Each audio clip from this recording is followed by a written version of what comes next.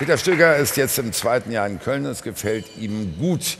Seinem Gegenüber von gestern, Roger Schmidt, scheint das nicht so zu gefallen, was dort passiert. Er hat gestern nach der Partie gesagt, so könnte ich nicht spielen, so wie Köln, dann wäre ich kein Trainer. Kleiner Arroganzanfall oder wie sehen Sie das? Ja, ich, äh, mir wurde es mir ja auch nicht zugetragen, war auch ein wenig überrascht, dass in der PK das nicht gesagt.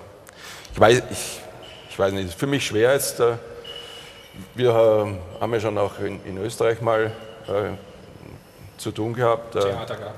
Nein, eigentlich kein Theater gehabt. Er war äh, Trainer von, von, von Salzburg, ein ganz gutes Budget zur Verfügung gehabt und äh, wir mit Außer Wien haben, äh, haben, äh, haben dann die Meisterschaft gehabt. Ich weiß nicht. Also ähm, hat auch mit österreichischen Kollegen das eine oder andere Mal Probleme gehabt, mit mir eigentlich nicht, muss ich äh, fairerweise sagen.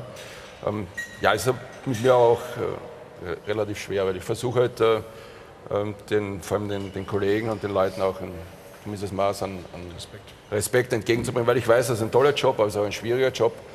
Und ich weiß nicht, äh, Respekt und äh, so, dann gibt es halt am Transfermarkt nicht zu kaufen. Ne?